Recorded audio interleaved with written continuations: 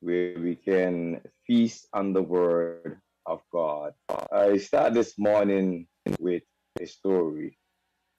One of the most amazing things that can happen to you in life is when you fall in love. Uh, for a short discourse this morning, I want to share with you uh, a venture into a love lasting relationship. It was a warm, smooth afternoon.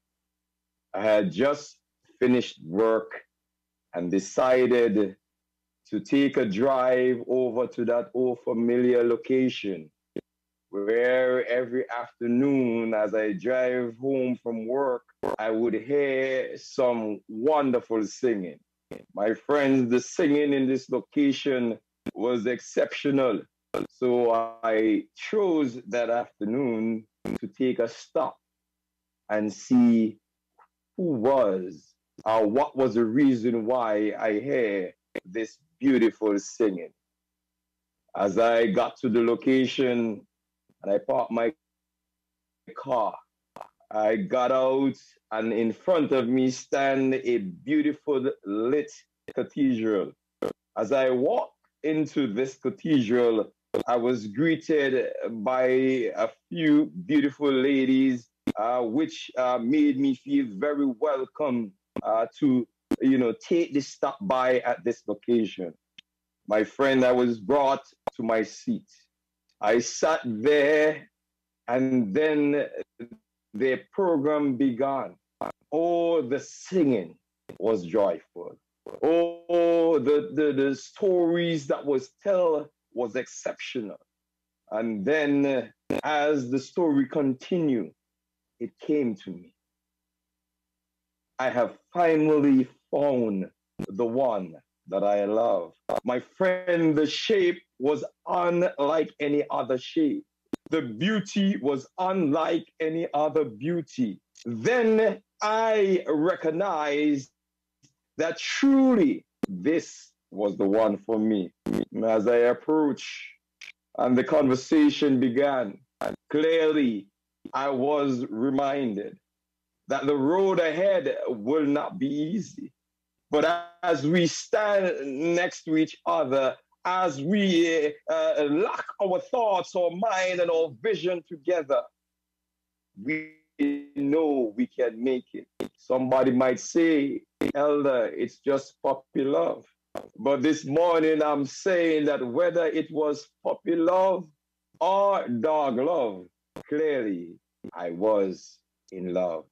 Oh, talk about a relationship that begin with just the sweet singing of music, but will end with a lifetime of joy, knowing that some sweet day this will be last forevermore. I've captioned my presentation this morning, the reason why I love you. Shall we pray? Most high and loving God, as we journey this morning, oh God, I pray that you empty me of self. Father, touch me from the crown of my head, O Lord, to the sole of my feet.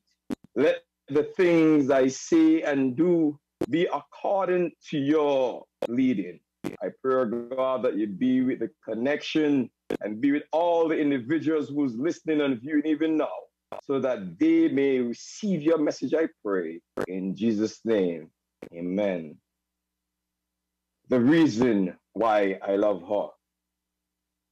As you look at the meaning of love, it says that it is an intense feeling of deep, deep affection, a great interest and pleasure into something or someone. In John chapter 15, verse 13, it says, Greater love have no man than this, that he would lay down his life for a friend. Uh, my friend, are you truly in love this morning? You see, many of us are in love, but are you really in love to the point that you would lay down your life for your husband, your wife, your son, your daughter, or even so, a friend? greater love have no man than this, that a man would lay down his life for his friend. As we journey onward this morning, we are reminded of a true love story. And that love story that we're talking about is the love that God has for you and I. In John chapter 13, verse uh, 34, it says, A new commandment I give to you, that you love one another just as I love you. You also to love one another. In First John chapter 4, verse 11, he said, Beloved, if God love us, we also ought to love one another.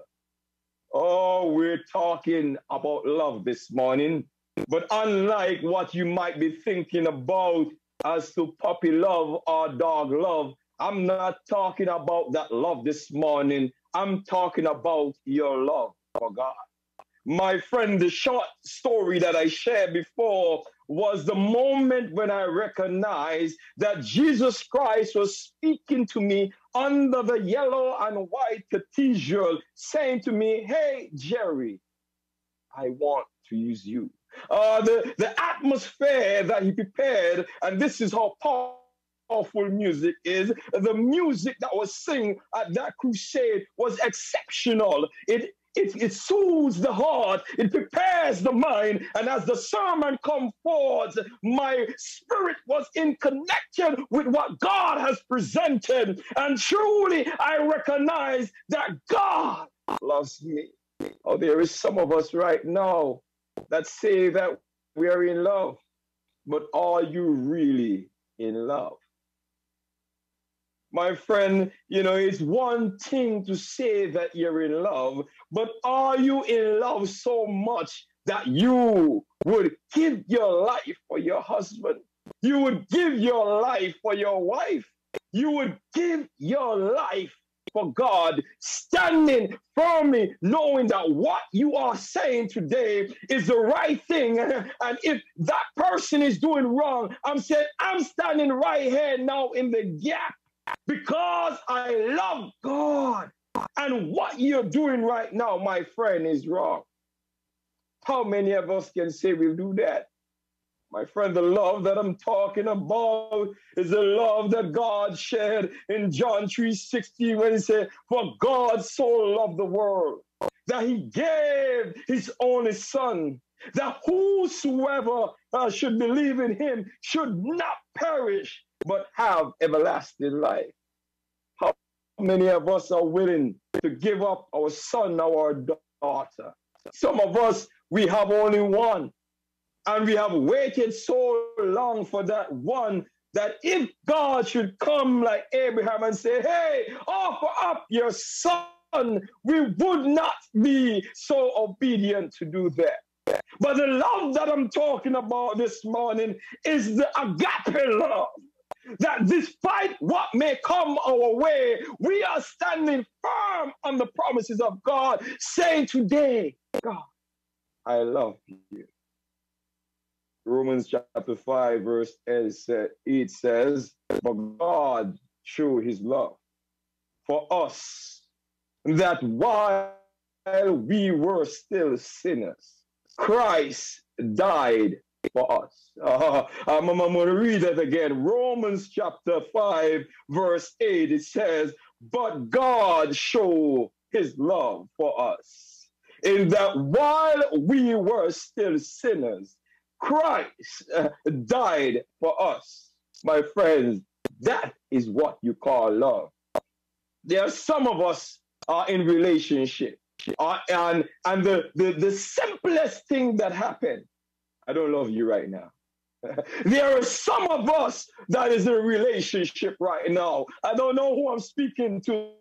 That the small situation that have transpired in the relationship that have us upset with our husband, have us upset with our wife is so insignificant to what God have done for us. We sin every day. We've done God every day. We pass Him in His sight every day. And his word still says, but God show his love.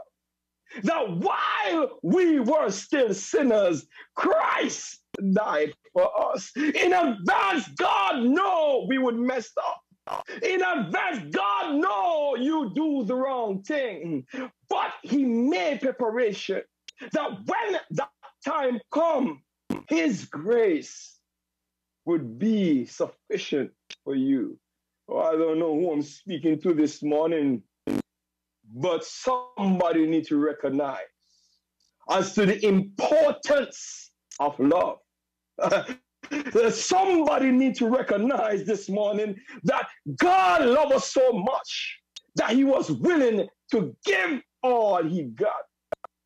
But we say we're in love. And we would not even give that extra $20 so that our husband and wife can get to work.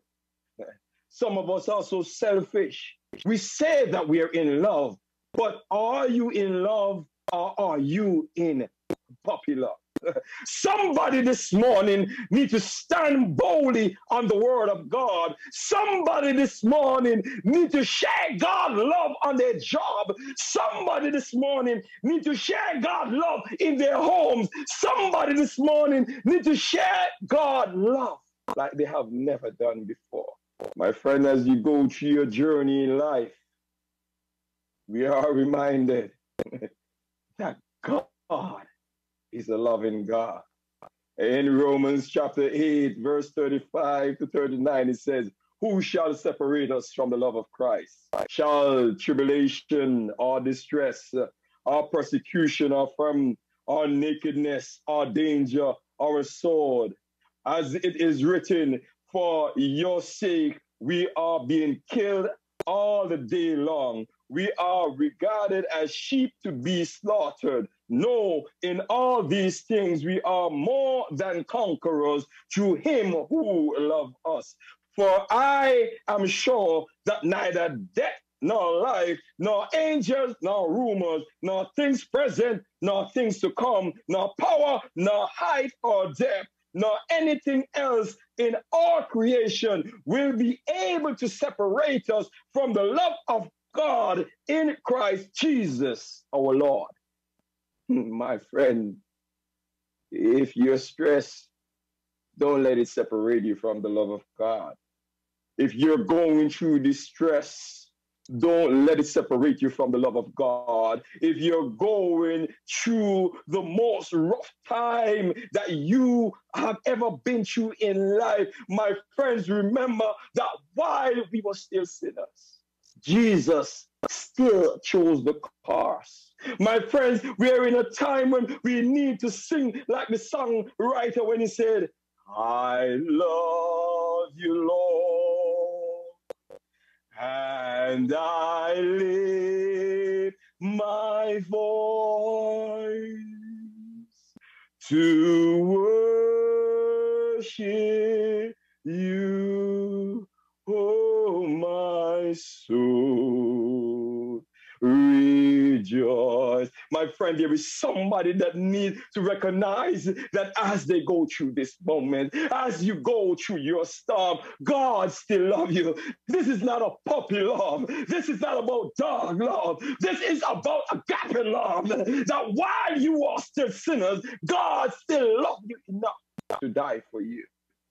And that's the kind of love that we're talking about today. The reason why I still love her is because I recognize that even though I, I may sin every day or I may sin on a regular, God still forgive me. Uh, the reason why I love her is because I recognize that despite what I'm going through, God still love me. Despite what people say about you, God still love you. Despite how you may feel this morning, God still love you. But my question is do you really love God? My friends, we are going through a time when the love of God needs to be unlike never before. The reason why you love God should not be because somebody tell you to love God, not because Elder Jerry said to love God, not because Sister Burns said to love God. The reason why you love God should be because you recognize that while you were a sinner, Christ still chose the cross for you and I. And that's the reason why you are alive today. So it doesn't matter what you have done in your past. It doesn't matter what you have done earlier this morning or yesterday or the day before.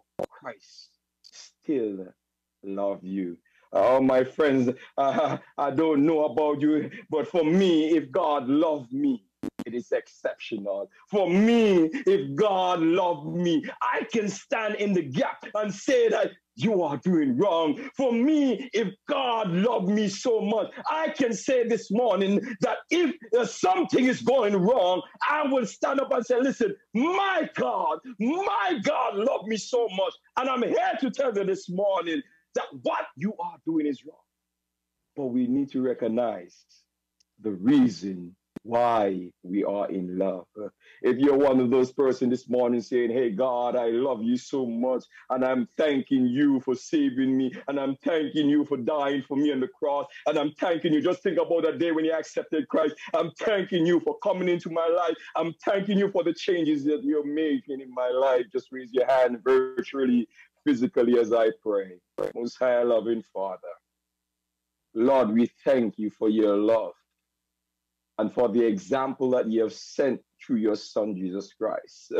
Father, somebody this morning is saying, Oh God, I'm one of those person, oh God. I, I, I thought I was in love, oh God, but, but the situation that I'm going through right now is not love. Father, there is somebody this morning that is crying out for you in a new way. That situation I've gotten so great, hallelujah. And they say, God, save me. God, rescue me. I need you this morning. Oh God, as your Holy Spirit flow this morning, oh God, I pray that you soothe that heart of that individual. Soothe the mind, oh God. Take charge of the situation, Father, and let the testimony be an exceptional one. Father, I pray, oh God, that your Holy Spirit will continue to be with us as we journey throughout the days of our life. I pray. In Jesus' name, continue to have your way. Amen and amen and amen.